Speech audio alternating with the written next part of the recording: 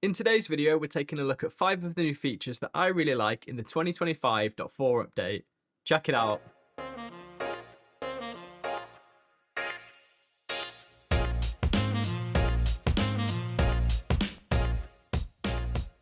What's going on guys? I hope you're all doing well. 2025.4 is packed full of new features, new voice enhancements, and lots of dashboard changes. The full release for this update will release on April 2nd, but if you are interested in checking it out early, I'll leave a link to the full beta release notes in the description below, and you are free to join the beta and help contribute if that's something that you're interested in doing. So with that said, let's check out my first feature. My first feature is probably my favourite feature throughout their entire update, and it's essentially the foundations for what is voice assistant interactions, which basically is what gives you that two-way feel between you and your voice assistant. Let me show you a quick demo. The office door has been left unlocked. Should I lock it for you? Yes.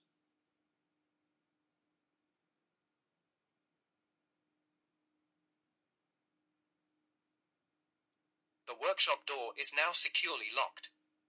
Your fortress is safe. If there's anything else you need, just let me know. This new feature allows you to build your own automations that will initiate interactions from your voice assistant instead of you having to trigger the conversation by saying a wake word.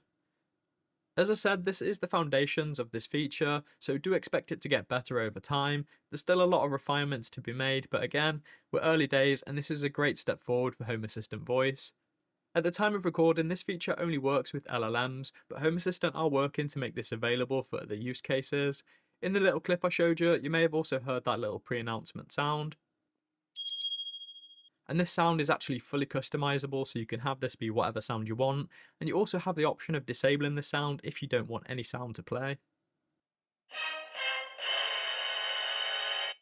Looks like you missed the train. Should I tell you when the next one is? You're out of toilet roll. Should I order some? There's so many things that you can do with this feature and so much potential for it, and I'm really looking forward to seeing what crazy things the community does with it.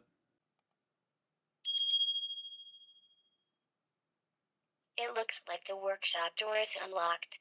Should I kill the inhabitants or just lock the door? Yes.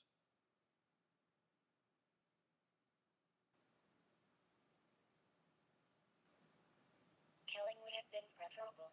The door is now locked. Moving away from voice then, we've got our second feature, and it's the highly requested backup sensor. Since the release of backups, lots of people have requested to have a backup sensor, and it's finally here. Using these new sensors, you can create some nice visual representations of your backup statuses, and you can also make use of that state within your different automations and scripts to automate based on the state of a backup. Up next, we've got our third feature, and it's the brand new Area dashboard. Area dashboards are a brand new experimental dashboard, which in the future may one day replace the overview dashboard, and I'm definitely down for this because I personally do not like that overview dashboard. These new dashboards generate a page for each area in your home by making use of tile cards, and for this to work effectively, you do need to have at least categorized your devices to set areas and not be one of those crazy people that just don't organize anything. With these dashboards, the devices will try and organise themselves appropriately, but you do have full control over the positions and also of what is and isn't shown.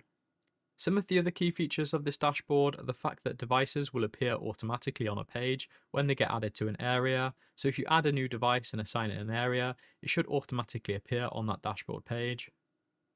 If you do start playing around and building your own area dashboards, do be aware that this is experimental, so over the next couple of releases, do expect a lot of changes and things may move around or even break the current dashboards that you create, so it's experimental.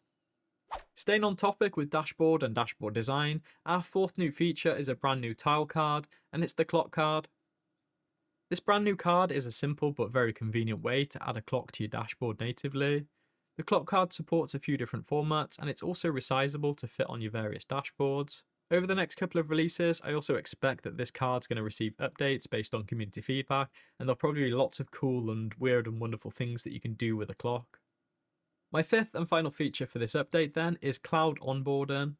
If you're starting a new Home Assistant instance, maybe you've had a really big failure, or maybe you're just upgrading to some brand new hardware, then when you actually run through the onboarding process, you have the option of signing into your Home Assistant Cloud account and actually restoring your backup directly from the cloud. This gives the whole onboarding process that Apple like feel where you just restore from a backup and everything is as you left it. I remember talking about this feature when cloud backups were first introduced, so it's great to see it's finally here, and it just makes it so easy and so convenient to actually just move to new hardware or even just restore your system.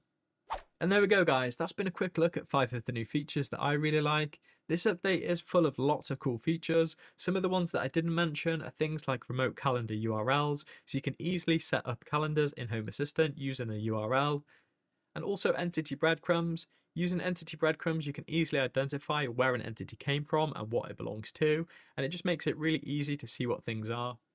If you enjoyed this video, then don't forget to drop me a like, and if you're not already, hit that subscribe button and ding dong the notification bell, and you'll be alerted to any future video that I do. As always, a massive thank you to these awesome dudes. These awesome dudes are my patrons and also my YouTube members. And if you're interested in helping support my channel, which in turn allows me to create content like this, then you'll find links to all the places that you can go to support me, all in the description below. Thank you for watching, and I'll catch you in the next one. Cheers.